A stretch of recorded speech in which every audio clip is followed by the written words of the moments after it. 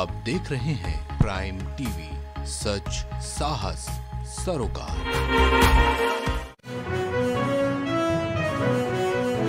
अपराधों के विश्लेषण के लिए बढ़ाए एआई का इस्तेमाल चिंतन शिविर में एमएचए के वरिष्ठ अधिकारियों से बोले अमित शाह।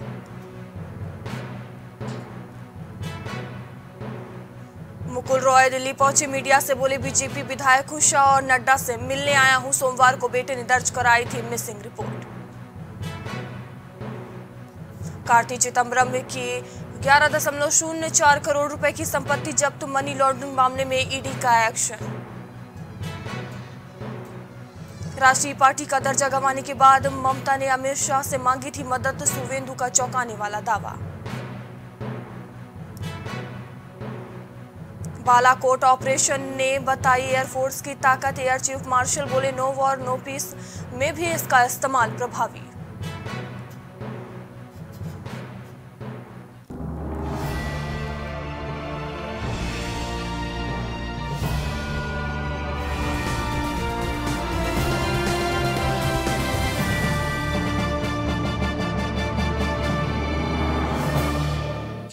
नमस्कार, मैं हूँ मयूरी श्रीवास्तव, आप देख रहे हैं प्राइम टीवी। वक्त हो गया है उत्तर प्रदेश की बड़ी खबरों का। बेसिक और माध्यमिक शिक्षा की अध्यक्षता में कार्यशाला का आयोजन हुआ। उत्तर प्रदेश माध्यमिक संस्कृत शिक्षा परिषद लखनऊ द्वारा नवीन शिक्षा नीति 2020 के सापेक्ष पाठ्यक्रम का पुनर्निरीक्षण करने हेतु कार्यशाला का आयोजन किया गया। केंद्रीय संस्कृत विश्वविद्यालय गोमती नगर लखनऊ में कार्यशाला का आयोजन किया गया। कार्यशाला में विशेषज्ञों ने अपने विचार रखे। कार्यशाला के प्रतिभागियों द्वारा विचार व्यक्त करने के बाद अपर मुख्य सचिव दीपक कुमार ने कहा कि संस्कृत माध्यमिक विद्यालयों की कक्षा छह में प्रवेश लेने वाले छात्रों के लिए तीन महीने का ब्रिज कोर्स रेडीनेस प्रोग्राम के रूप में तय किए जाने की आवश्यकता है। विद्यालयों में स्पोर्ट्स कक्षाओं की व्यवस्था उपयोगी होगी। इन कक्षाओं में ऑडियो विजुअल सुविधाएँ शासन की ओर से उपलब्ध कराई जा सकती हैं।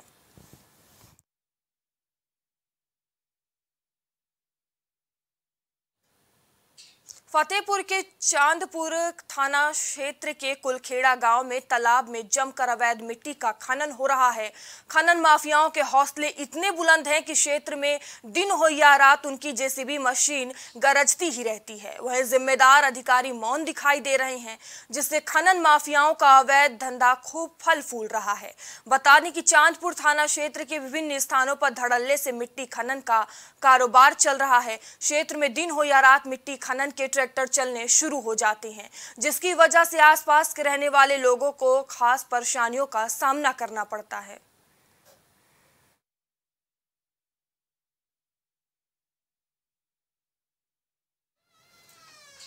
अज्ञात कारणों से भीषण आग लगने से कुशीनगर ज़िले के पडरौना तहसील के बाजूपट्टी गाँव में दर्जनों घर जल गए। आगजनी की इस घटना से दो मासूमों सहित पैंसठ वर्षीय बुज़ुर्ग की जलकर मौत हो गई। इसी घटना में आठ लोग मामूली रूप से झुलस गए, जिनका इलाज जारी है। घटना की सूचना पर जिला अधिकारी पुलिस अधीक्षक सहित ज़िले के तमाम बड़े अधिकारी घटनास्थल पर पहुंचकर पीड़ित परिवारों के राहत और बचाव कार्य में जुट गए हैं। वहीं गाँव से पहुँची राजस्व की टीम आग से हुए नुकसान के आकलन में लग गई है जिलाधिकारी। मृत पीड़ित परिवारों को मुख्यमंत्री राहत कोष से चार चार लाख मुआवजे का ऐलान किया है। जठा बाज़ार थाना अंतर्गत बाजूपट्टी गाँव में दोपहर में आग लगी थी। इसमें एक बुज़ुर्ग पैंसठ साल की और दो बच्चों की मृत्यु हो गई है। इसके अलावा आठ सौ आठ, दस लोग माइनर इंजर्ड थे, उनकी हालत ठीक है, उसमें कोई दिक्कत नहीं है। इसके साथ ही जिला प्रशासन और माननीय प्रतिनिधि सब लोग यहाँ पूरी टीम लगी हुई है। आ, पूरे गाँव में कानून व्यवस्था भी ठीक है और आग कंट्रोल में आ चुकी है उसमें इशू नहीं है। और इनको माननीय मुख्यमंत्री जी के द्वारा जो तीन लोगों का भी मृत्यु हुआ है चार लाख रुपये का घोषणा किया गया है और उसके साथ ही और भी जो आर्थिक सहायता के लिए सर्वे किया जा रहा है वो कराया जा रहा है। थैंक यू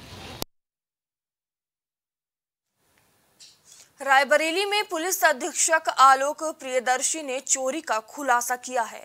खुलासा करते हुए उन्होंने बताया कि बिजली के तार और लोडर के साथ पाँच चोरों को गिरफ़्तार कर लिया गया है। चोरों के पास से 33 केवी लाइन की एल्यूमिनियम तार के 10 अदद बंडल घटना में प्रयुक्त लोडर वाहन भी उनके पास से बरामद किया गया है।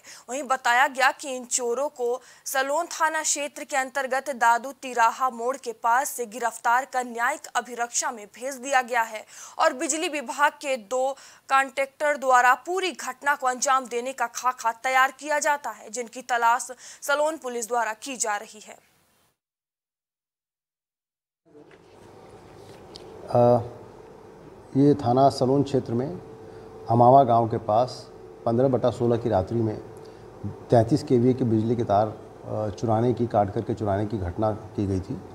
इस घटना में मुकदमा कायम करके पुलिस के द्वारा अनावरण के प्रयास किए गए और आज पुलिस को इसमें पाँच अभियुक्तों को गिरफ़्तार करके घटना का अनावरण करने में सफलता प्राप्त हुई है। इन अभियुक्त गणों के कब्जे से 10 बंडल 33 के वी का तार भी बरामद हुआ है। साथ ही जो भी तार कटर हैं, आरी और एक लोडर जिसमें तार भर के ले जा रहे थे और अन्य उपकरण उनके पास से बरामद हुए हैं। चंदौली में चलती बस का पहिया निकलने से बस डिवाइडर से टकरा गई और बस में बैठे यात्री बाल बाल बच गए। खचाखच सवारियों से भरी थी बस बनारस से बिहार के सासाराम जा रही थी। वहीं टक्कर से मौके पर अफरा तफरी मच गई। पूरा मामला सैयद राजा थाना क्षेत्र के एनएच दो का बताया जा रहा है। अच्छा इस बस में थे आप? हाँ बस में थे किसी को तो चोट तो नहीं आई ना? चोट अभी नहीं है लेकिन आदमी तो ये कि डिवाइडर यहाँ बना हुआ है तो बच गया ना तो सारा का सारा आदमी मर गया होता है। ये सब गाड़ी केवल चलाने को जानता है सर्विसिंग कराता है को दिन का है नट ढीला है बोल्ट ढीला है बस पैसा से मतलब है सबको। अच्छा। कहाँ चक्का फंस गया है इंजन फंस गया अच्छा अच्छा। पूरी तरीके से बस ये पलट बाल बस सब लोग बच गए? हाँ सब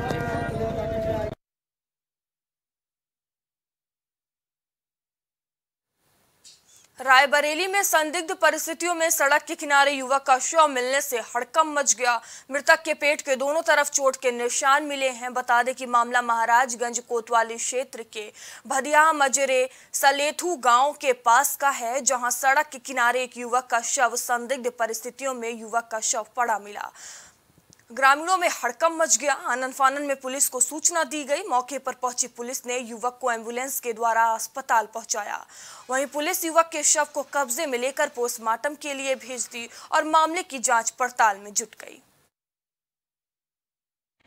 सर क्या परिचय है आपका? मैं डॉक्टर अनिल कुमार भागवत मेडिकल अफसर सी एस रायबरेली कोई मामला है सर? क्या? हाँ दस बजे एक विराट डेट एक सौ आठ एंबुलेंस से यहाँ आया।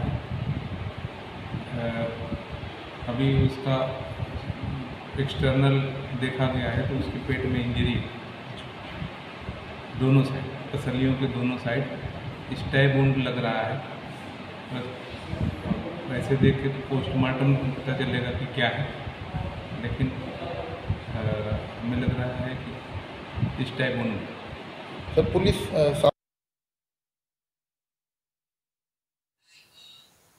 Uttar Pradesh की खबरों में अभी के लिए इतना ही। देश दुनिया की तमाम खबरों के लिए बन रही है प्राइम टीवी के साथ। नमस्कार।